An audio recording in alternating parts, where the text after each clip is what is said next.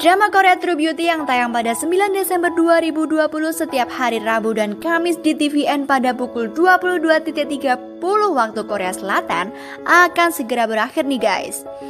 Kisah percintaan Jukyung dan Suho juga semakin membuat baper para penonton.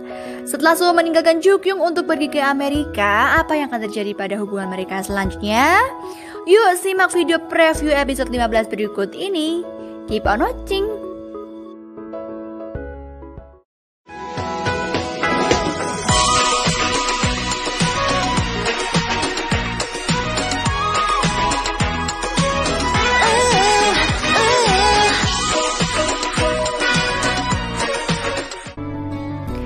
Pada episode 15, dua tahun kemudian si Jugyung ini sudah menjadi seorang mahasiswa.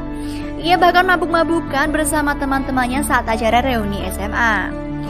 Jugyung galau lantaran ia masih memiliki perasaan kepada si Suho yang sedang tidak berada di Korea. Suho sengaja mencoba untuk mencapakan si Jukyung. Ia menyuruh Jukyung untuk tidak menghubunginya lagi agar Jukyung ini dapat melupakannya. Padahal Suho sendiri masih memiliki perasaan yang cukup besar untuk si Jukyung guys. Di lain sisi, Sojun selama 2 tahun ini makin lengket dan sering berinteraksi dengan si Jukyung. Namun ia masih belum sempat untuk mengungkapkan perasaannya. Saat Jukyung mabuk, Sojun memeluk Jukyung dan memintanya untuk melihat perasaannya yang sudah ia pendam sejak SMA. Namun Suho ternyata tiba-tiba datang ke Korea dan menemui Jukyung ini dan ia mengatakan bahwa selama ini ia selalu merindukan Jukyung. Namun Jukyung justru merasa kesal dan ia menjawab bahwa dirinya tidak merindukan Suho.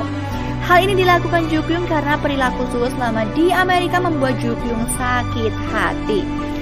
Penasaran kan gimana kelanjutan ceritanya? Tetap saksikan detik-detik episode terakhir dari drama Korea True Beauty. Bye-bye!